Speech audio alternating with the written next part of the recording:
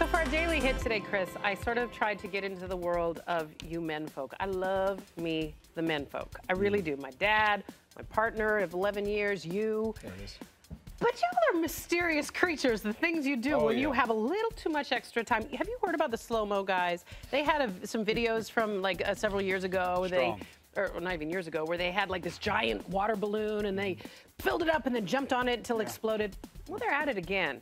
I want you to witness this. You're, these are your fellow mankind. Yeah, evolved.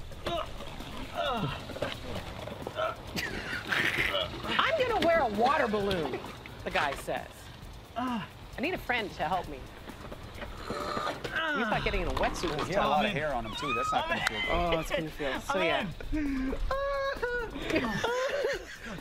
It's nice and refreshing. What a damn Jabba the Hutt. He looks Quite like nice. Jabba the Pink Hut. Looks So like when, he's it- when you come out, oh. it looks Oh,